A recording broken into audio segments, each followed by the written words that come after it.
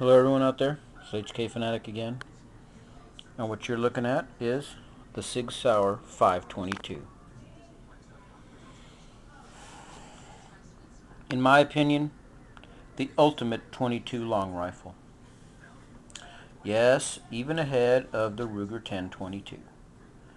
Alright, there's a lot of you going to say, well, the Ruger 1022 is proven, uh, it's got all these accessories, uh, you can get a you can get a drum magazine for it. Well, I'll tell you right off.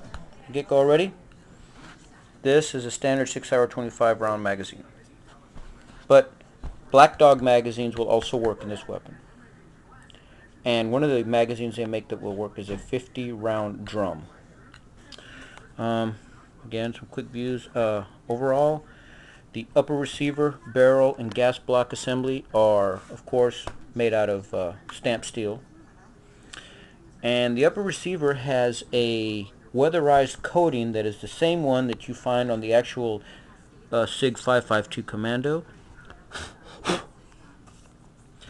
Uh, and if I'm correct, the SIG 556 also has that same, uh, it's almost like an anechoic rubber, uh, pure, it's a very stout, you can feel the, uh, it's almost like pressing on rubber itself, but anyway, it does help to seal in the upper receiver. The barrel is a cold hammer forged barrel, the same as you would find on their uh, on their other rifles, the SIG 556, the SIG 552. Uh, the front hand grip is polymer, lower receiver, very heavy duty polymer. Retract, uh, retractable buttstock, capable of being retracted to, well, three positions. Not an awful lot, but, and of course, all the way open. Sling mounts, there's one here or you can simply mount the uh, strap through the rear and you have a front sling point attachment there. Um, the stock is collapsible. Right here is the release. Simply press it and you can fold the stock around. A few things on this side of the weapon that you don't see. Your bolt locking lever is right here. You simply pull the bolt to the rear and press down on your lever it will lock the bolt to the rear. And to release the bolt you can either press the lever or pull on the bolt in the rear lock position and it'll go forward. It does lock open on an empty magazine which is excellent in my opinion. Uh, ambidextrous safety controls. Okay one thing I did do to modify this is I painted with enamel paint a white the uh, the safe and fire positions are indented in the polymer. So all I did was simply take a toothpick and with some white uh, model enamel paint I painted the S and the uh, F with red. Okay, another good ambidextrous, just a quick note on that. You have safe and fire. Um, these controls take a little getting used to because there is, let me set this here, you would think that the lever, of course, pointing straight forward is safe at an angle fire. As you can see, there's a little notch here, and when the notch is pointing is the actual position of your safety. That is safe. Weapon cannot fire. Um, breakdown of this weapon is a snap. You simply, these are two captive screws. You don't need anything special to push them through. You push with your finger, the screw will pop out on the side. Pull it out. That will enable the weapon to open up like any M4 or M16. From here you simply pull straight out. You can remove the charging handle and the whole uh, bolt and carrier will come out the rear of the weapon. And since they are captive, you don't have to worry about these screws coming out uh, to simply remove the entire, to separate the weapon, follow the instructions in the manual. You push both of them out and you can lift up and then remove the handguard to mount either the, uh, I haven't ordered the optional uh, rail kits yet, but it's a set of three rails for $20 from Sig Sauer. Okay. One thing, my weapon did not come with or any sights whatsoever. It's got a flat rail. You can order optional sights, but it's over $200 to get them. Okay, and for most people, it's like, well, why am I going to spend that kind of money? You can buy any aftermarket rail-mounted rear flip-up sight. This one I got off of my SIG 552 Jingong Commando. It is an airsoft sight, but the the actual groove was the right size to fit in the sight groove. So for me, well, you know, if it works, it works, and you can flip it up or down as you need. But I, what I would recommend to most people is simply go buy yourself a good red dot sight. Again, the sky's the limit. Uh, this is temporarily. It's a BSA red dot. I intend to replace it with a Bushnell Trophy T-Dot.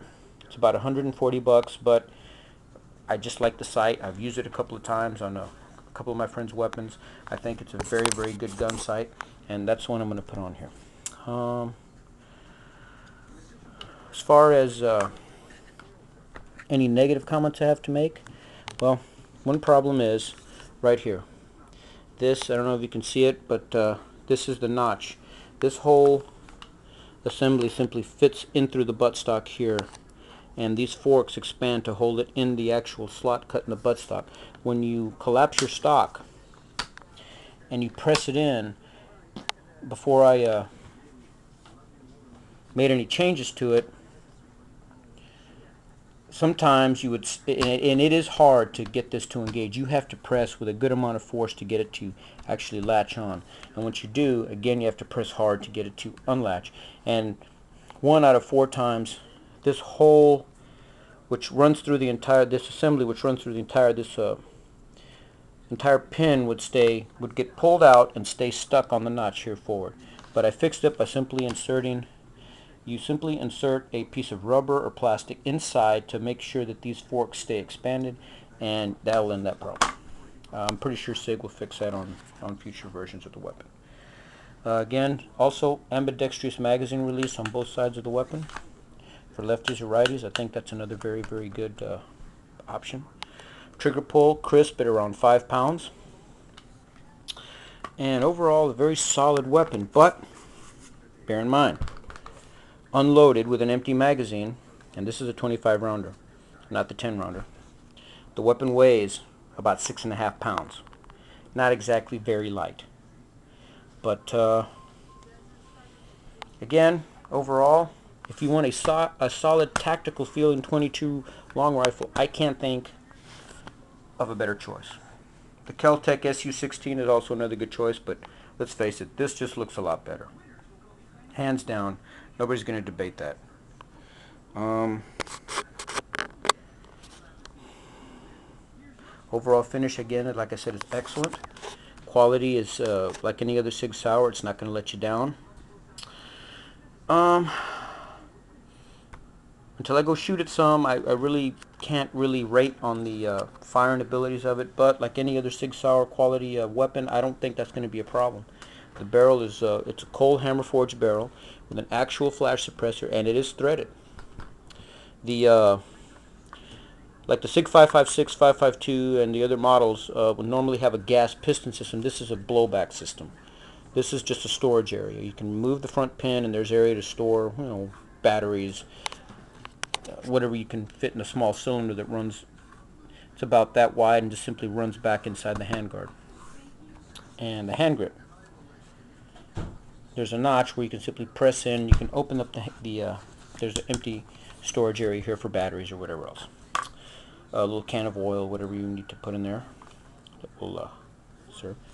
Again, looking down inside the weapon here, you can look into the actual, there's the bottom of the uh, bolt.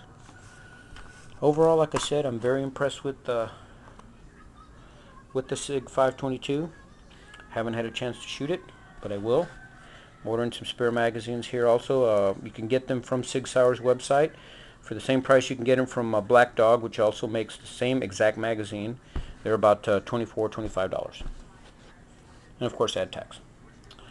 Um, for now, that's going to be all on this one. Oh. And in the next module, I'll take it out and try to give it a give it a little testing, just to see how good it shoots. But uh, my expectations, I think it'll do very well. Till then, HK, Phanatic, out.